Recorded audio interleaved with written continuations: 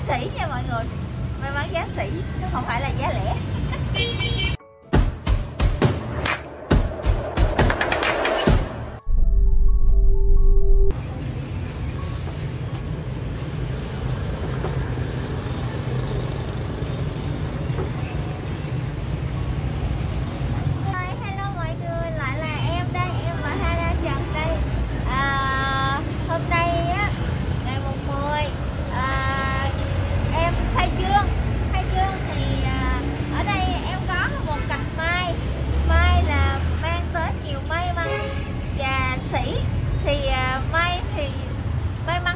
sĩ nha mọi người.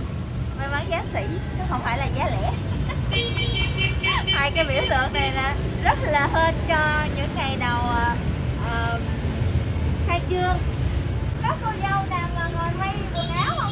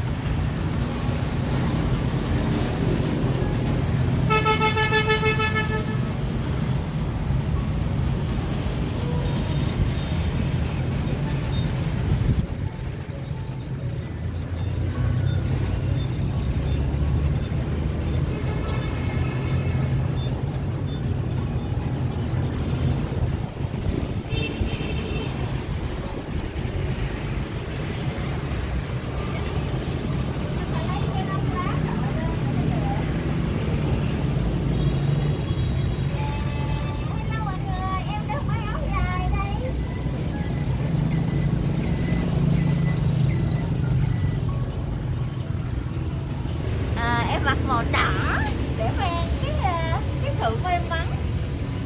Và ngày mùng 10 cũng là ngày biết thần tài nữa cho nên mặc màu đỏ vô cho nó hên. Về về về.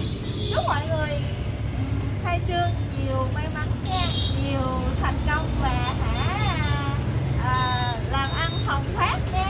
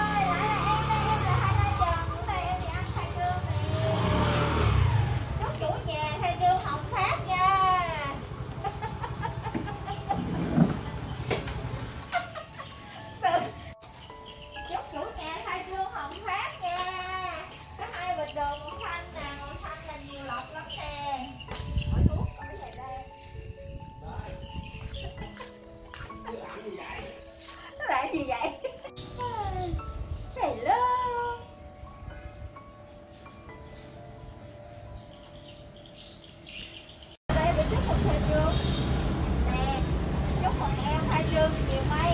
Tự nhiên